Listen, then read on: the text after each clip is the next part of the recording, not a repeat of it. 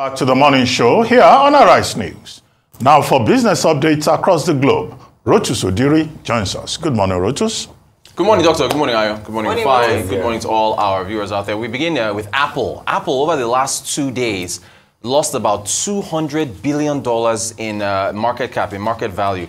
It's uh, dragged the NASDAQ down for about four consecutive days now because Apple has such a large weighting. What's the problem? It's the rumor uh, going around. Uh, I think this was a, a story broken by Bloomberg, or is it the Wall Street Journal? Wall Street. That Wall Street Journal, yeah. So that um, ah, that China is um, banning iPhones for SOEs for state-owned enterprises and saying government workers should not use iPhones. So on that news, um, you know, some folks were selling Apple stock, and the stock dropped. Uh, again, if we look at the Nasdaq, the Nasdaq also dropped uh, yesterday. Uh, so yeah, 0.89%. But the last four days now, the Nasdaq has been down.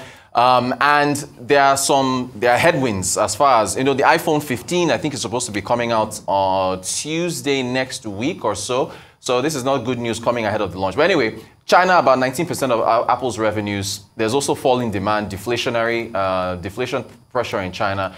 Huawei, that's another bit of news there. Huawei has come out with a new phone. Somehow, some way, they managed, I think it's made, the phone has chips that were made by TSM, TSMC or so, which somehow found its way past US sanctions. So Washington is worried about that. So Huawei, there's some competition in China. And then um, US student loan repayments are starting next month. So if you've got a loan and you have to pay back, it's only so much money. The opportunity cost of buying uh, a new phone is not paying your loan.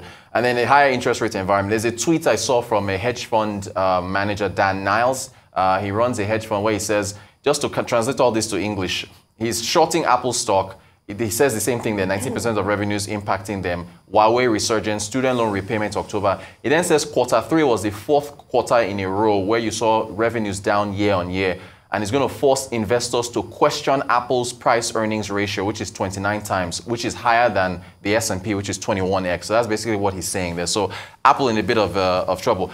My man P. Diddy, he won his first round uh, in court against Diageo. He's suing Diageo for racial discrimination, saying that they supported more white-owned brands of, uh, of liquor as opposed to his own. Um, Diageo filed a motion in court to dismiss the lawsuits and take it to arbitration. Yesterday, a court, the judge ruled that nope, um, this is going to go to trial. So I think in the, you folks are the lawyers. In, in legal terms, or this doctor is uh, in legal terms, he is going to the exploration phase, which is where you're supposed to gather evidence to support his case. We move to Nigeria. The Bureau of Statistics putting out trade data. This is very, very informative data here because there's a whole lot as far as boosting trade, trade within Africa, Africa Continental Free Trade Area agreements, and so on and so forth. So 1.28 trillion naira trade surplus. That was more exports than imports. The difference between the two. Exports 7 trillion for the second quarter of this year. Imports 5.7.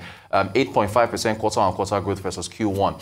As, as usual, uh, crude oil made up almost 80% of our exports, 5.58 trillion. Non-oil exports was 20.37. And you put this against GDP data, where crude oil, this sector has been contracting, while non-oil has been growing driving the economy. It's where our money comes from. Now, you look at exports by region. Europe was the largest. I think the Netherlands was the, the largest country, 3.1 trillion. Asia in second place, 1.7. North America, 1.37. Look at Africa, only 747 billion out of your total exports went towards Africa. Look at the ECOWAS region, only 425 billion. So very, very low. We are still not trading enough with Africa compared to the other regions.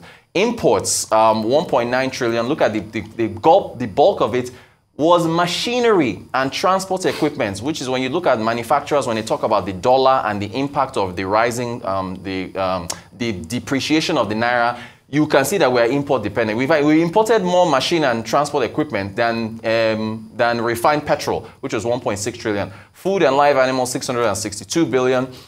Uh, what else? There were a whole lot of numbers coming in from this report. Um, if you look at imports by region, Asia, 40% of our imports came from Asia. China, of course, the bulk of that. Europe was in second place. North America, look at Africa again, 237 billion. Your ECOWAS region, just 52 billion. So again, Africa trade lagging behind. And then agriculture, very important to point this out. Total trade only 735 billion. Your exports were about 280 billion, most of which was raw commodities, shelled cashew nuts and so on and so forth. Look at your imports, far exceeding your agricultural imports, which is emphasizing the fact that Nigeria, the uh, emergency declaration of food, food, uh, food emergency that uh, President Tinubu declared, you can see it in the numbers. Wheat from Poland, I believe, was one of the largest imports that came in. So, look, our trade data, they take away from this Crude oil, we're still disproportionately dependent on crude. Um, and also, we need to diversify our non-oil exports. Rufai said this, Doctor said this, Ayo, you've all said this, more value-added goods that need to be exported um, from Nigeria. Uh, if not, we'll continue to see the same numbers. More value-added good, but the question is competitive advantage. So where do we have it? In all of these things, do we have it in machinery? Obviously, we don't have it now because we don't have the power to produce machinery right. in the first place. Do we have it in raw materials? Yes. So how can we do something like a backward integration? The easiest way for us is for those companies to start production of those machinery here with our raw materials. So I will favor, rather than taking our mineral resource away, that lithium factory you've been talking about, mm. Nasarawa, to be able to bring about lithium. I will favor, even let's start from the basic, refineries to refine our oil road yep, tools. Yep, yep, yep, yep. Petrol right. refineries. Yes. I will favor gold refineries. I will favor other solid mineral refineries in this country to start first. Do you know that the industry of cutting diamond is a very highly skilled industry? Yeah. And most of the African continent, we don't have that expertise. So most of the diamond is taken to Antwerp mm. in Belgium to go cut. Almost like refining fuel. Yeah. Overseas, that's yeah. a specialized yeah. field on its own. Yeah, yeah. So how can we crack all those things and produce with it? That's the biggest challenge.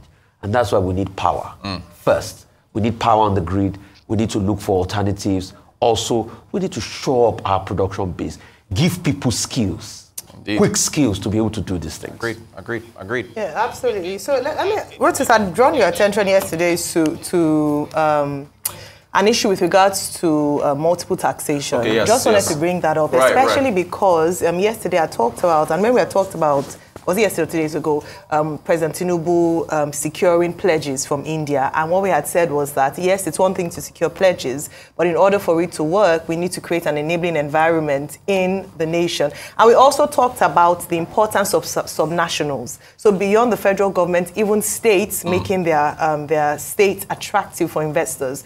We looked at what's happening in Anambra with the Anambra Investment Summit, what's going on in, um, in what's In going Enugu. on in Enugu. Yeah. We looked at also Kaduna Investment Summit Yep. um, happening and had um, brought an attention because one of the challenges that business owners face, even beyond investors, is multiple taxation. And that's an issue that the government, the federal government, is looking to um, you know, harmonize with, Yeah. regard, with the Joint Tax Board. But in Lagos State, one of the things that we find is, um, and, and it happens in other states as well, whereby small businesses are being hampered. Yeah. They are killing small businesses because of multiple taxes. You say small business. So I just wanted to highlight, especially in the in the you know for event sectors, Yeah. if a bit more. But because of our time, I can't go into Gotcha, detail. gotcha, but hopefully gotcha. next Typical. time. Apple shares falling by 3%. Yeah. The uh, Chinese market, biggest market, they sell about 40 something percent of their phones in Yeah. uh, China. Yeah. Where China is big market, second largest economy. Now, because the Chinese officials have unofficially instructed government officials not to bring iPhones to work and not to use it for office work, Yeah. then you had that drop in Apple's shares. Okay. Well, no statement, no official statement has been issued. But this would be understandable within the context of the competition between China and the US. You recall that in 2019, the uh, uh, uh, Commerce Department in the US placed Huawei on the entity list, restricting access of Huawei, the leading you know, Chinese phone company, having access to microchips, Yeah. you know, provided in the US. So they restricted. It. Now Huawei has now produced an, I think, eight nanometer, you know, uh, chip Yeah. produced in mainland China, Yeah. and they've produced one phone called Mate Pro 60 or so, which is now supposed to flood the market.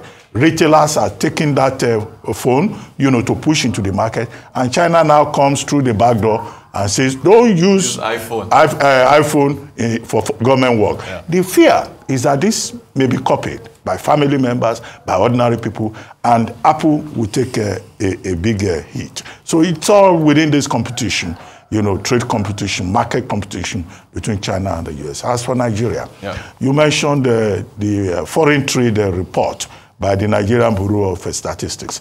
As expected, the trade surplus that they are talking about is so small, 2.2 trillion.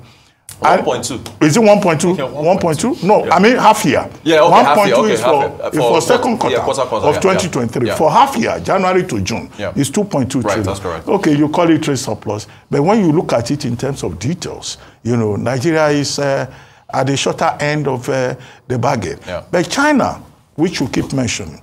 Now, what happened in terms of import and export with China? I thought in 2018 we had something they call currency swap. The yuan swap, You- yeah. The naira and the renminbi. Yeah. The renminbi now is suffering against the dollar. Yeah. So what is the implication?